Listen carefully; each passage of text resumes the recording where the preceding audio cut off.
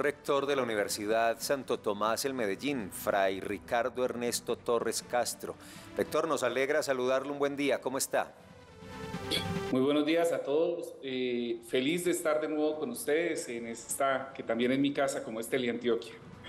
Señor, porque incluso usted fue columnista nuestro en de manera singular y siempre es un placer tenerlo conectado con nosotros. Rector, explíquenos por favor el contexto, en qué consiste ese artículo, cuál es el propósito del artículo que ustedes ven un poco como amenazante a las finanzas universitarias privadas respecto a las decisiones que el gobierno nacional ha tomado con el ICETEX.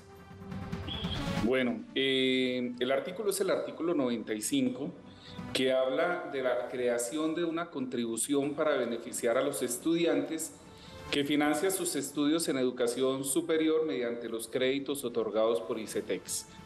Hay un, hay un margen de contexto que tiene la ley y es que habla de una concertación entre las universidades. Lo que hoy nos preguntamos los rectores de las universidades privadas es cuáles rectores, con cuáles universidades, con quiénes se sentaron a dialogar porque apenas Ascun esta semana eh, citó a una asamblea extraordinaria precisamente para fijar eh, un poco el contexto y poder eh, ir identificando cuál va a ser el impacto que va a tener esta medida en la, en la universidad. Y ya desde el Pleno, rector, escúcheme que lo, que lo interrumpa, de, interrumpa del Pleno de Ascun, de la, de la reunión de Ascun han logrado determinar el gobierno nacional, si no habló con Ascun, con quién habló, con cuáles rectores, ¿será que se reunió privadamente con algunos? sin duda el gobierno no habló con nadie. Eh, aquí lo que nosotros estamos entendiendo es que fue un pupitrazo que eh, el gobierno simplemente eh, por cumplir alguna de las promesas de campaña eh, pues so pena de arriesgar un poco las finanzas, la estabilidad, la sostenibilidad de la educación privada en Colombia, pues ha tomado estas medidas. Eh, hay, dos, hay dos razones. La primera es de responsabilidad y la segunda es, eh, primero, de responsabilidad con la universidad y segundo, de responsabilidad con el estudiante. de responsabilidad con la universidad en la medida en que todos tenemos el gran reto y el gran desafío de trabajar por la sostenibilidad de estas instituciones, que tienen un impacto muy fuerte. Yo creo que eh, esto hay que sumarle cifras.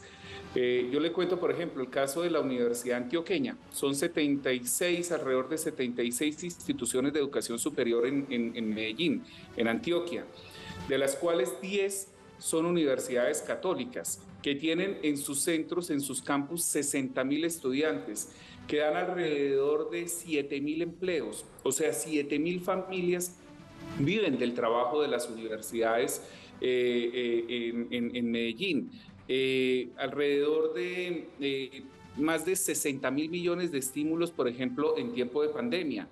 Y ese impacto financiero que tuvieron estas instituciones, esa empatía que nosotros mostramos con nuestros estudiantes, con sus familias, con la sociedad, cuántos de nuestros centros educativos nos sirvieron como puntos de vacunación, nos sirvieron como puntos de concentración, todo financiado con las mismas universidades, pues como hoy el gobierno eh, pues nos está colocando a, a pesar no solo de asumir unos intereses, que hoy podríamos decir, eso oscila en un 12%, nos está colocando el mismo peaje de siempre, perdón que lo nombre así, pero eh, hay una contribución que hacen las universidades por estudiante que es del 1% por entrar al sistema de crédito. Entonces, eh, cuando nosotros hablamos, por ejemplo, de incremento de matrículas, pues nosotros ya estamos viviendo un estallido social, inclusive permeado por un movimiento estudiantil que no proviene de las universidades privadas. Y hoy lo que nosotros vemos es en riesgo la estabilidad el poder eh, estabilizar los contratos laborales, el poder darle a la gente también un incentivo como es un incremento según el costo de vida de los colombianos que todo trabajador merece tener. Y, y, nosotros sí vemos con mucha preocupación, vemos con mucha preocupación lo que está pasando en este momento en la universidad colombiana. Rector, además eh, se ha expresado por parte de las universidades privadas que esta es una medida que las haría pues inevitablemente más elitistas o de menor calidad. No, yo sabes que la calidad está muy en riesgo porque finalmente lo que nosotros hacemos y como nosotros concebimos la formación integral que tiene que ver con el bienestar, que tiene que ver con la internacionalización, que tiene que ver con la investigación, con el impacto social, pues todo eso sin duda cuesta. Y a las universidades privadas nos cuesta. Eh, lo cierto es que hoy todas dependemos de matrículas. Eh, cuando intentamos diversificar, que todos estamos en la tarea de diversificar nuestros ingresos y querer, por ejemplo, trabajar con el mismo sector público para hacer más investigación y más impacto, lo cierto es que también nos aplican a nosotros estampillas, nos aplican a nosotros el IVA, nos aplican a nosotros una serie eh, de impuestos que se van creando para eh, incentivar, digamos, otros sectores de la, de la sociedad. Entonces, no está mal que nosotros paguemos esas estampillas, que paguemos el IVA, que nosotros cumplamos con todo lo, lo, que la ley nos pide. Lo cierto es que la carga fiscal hoy para las universidades privadas la pueden llevar a ser a muchas inviables. Ayer salió el rector de la Universidad Javeriana hablando que contablemente la Universidad Javeriana reporta una pérdida de 9 mil millones de pesos pero que dio unos subsidios por encima de los 18 mil millones de pesos en tiempo de pandemia. Es que apenas nos estamos intentando levantar la cara después de esta pandemia. El caso de la Universidad Santo Tomás fueron más de 28 mil millones de pesos que dimos en ayudas. O sea, más empatía que la que hubiera podido tener esta universidad con sus estudiantes y lo mismo las otras universidades, para que hoy el gobierno, pues sin una concertación, sin un diálogo previo, pues intente colocarnos eh, el, asumir casi un 12% de los intereses de los cuales hoy eh, otorga como crédito. Lo que suena como una condonación para el estudiante es una condenación para las universidades. Rector, bueno, pues después de conocer toda esta alerta que usted genera y que se hace desde ASCUN, desde la sociedad, ¿ya han tenido acercamientos con el gobierno nacional? ¿Ya han tenido algún tipo de acercamiento con el director del ICETEX? Pues mira, nosotros la semana pasada inclusive eh, tuvimos un acercamiento con el ministro de Educación. Eh, el ministro desconocía inclusive cuando se le planteó este tema, este tema de frente desconocía mucho de lo que estaba pasando que, tema que también nos preocupa, porque quiere decir que, que entre el mismo gobierno no hay un diálogo amplio y, real, porque, porque no se dan cuenta y no dan cuenta realmente de lo que, de lo que está pasando. Eh, también me llama muchísimo la atención que en todas las expresiones que ha habido por parte del ministro simplemente se habla de una reforma, pero no dice en qué consiste la reforma, cómo es la reforma. Eh, simplemente ayer eh, esta semana eh, aterrizamos con, con, que el director del ICETEX ya dio por hecho esto, el, el, mismo presidente en, la, en el informe que dio sobre los 100 días, pues habló de esto como una gran victoria para el gobierno. Lo que es una victoria para el gobierno es eh, realmente un detrimento de las instituciones.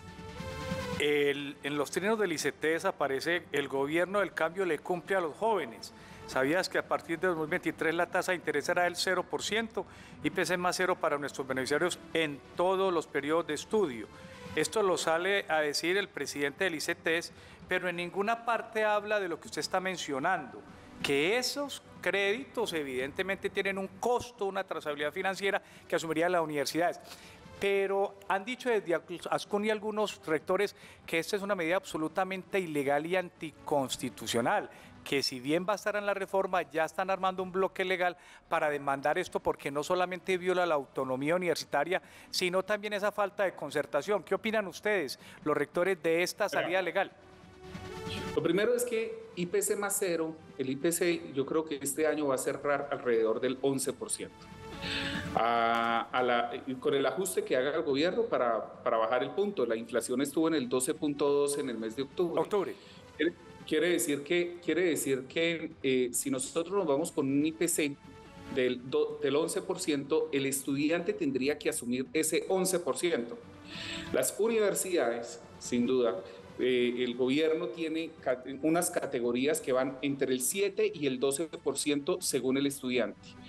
Esas categorías no se van a eliminar porque finalmente para que el ICETEX sea viable y para que el ICETEX pueda eh, suplir el pasivo que se dice, se dice que es eh, superior a los 200 mil millones de pesos, para poder suplir ese pasivo, pues sin duda el ICETEX necesita hacer un recaudo. Lo cierto es que al estudiante no le están diciendo que eh, eso no va a ser descontado de su matrícula. Lo, cierto es que al ICETEX, eh, a los jóvenes no le están lanzando el mensaje que el pasivo de ICETEX no se va a suplir de otra manera, sino es haciendo un cobro directo a las universidades. Hoy no lo hacen, que es por el 1% que pagamos nosotros por la contribución por estudiante que ingresa en el sistema.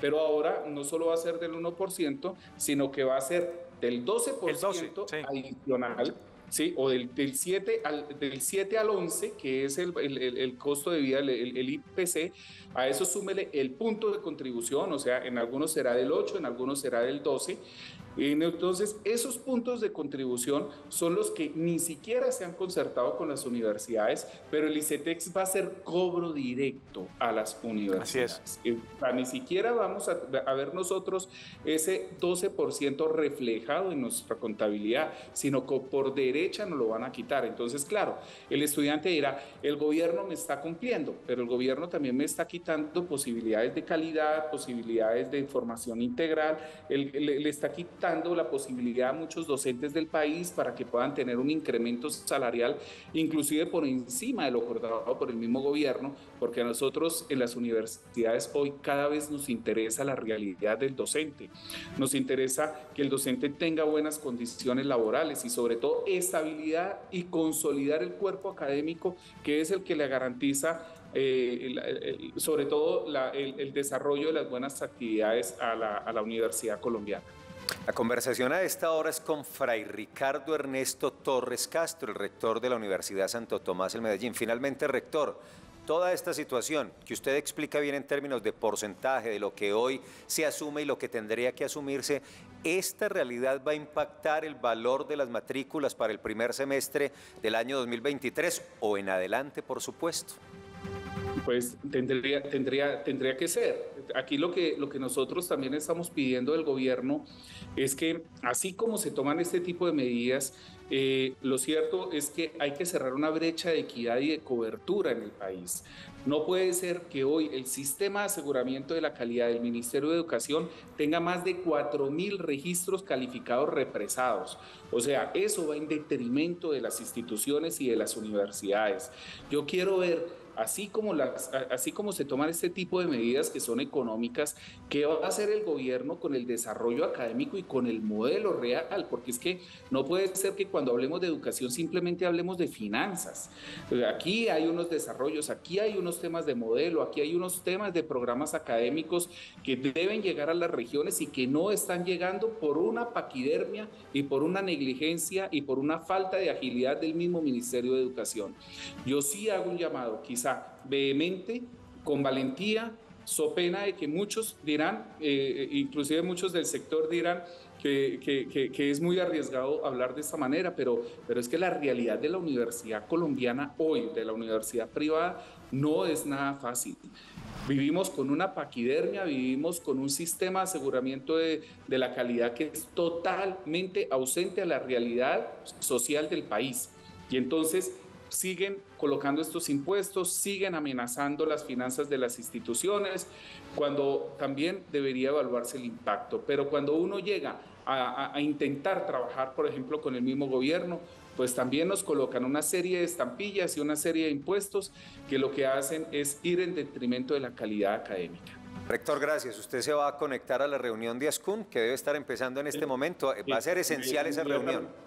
Inmediatamente eh, me conecto con la reunión porque todos estamos al tanto de la, de la situación. Eh, queremos también que esos cuerpos representativos como ASCUM eh, dejen de, de, ser tan pasivos y, y queremos motivar realmente un diálogo, un diálogo de país.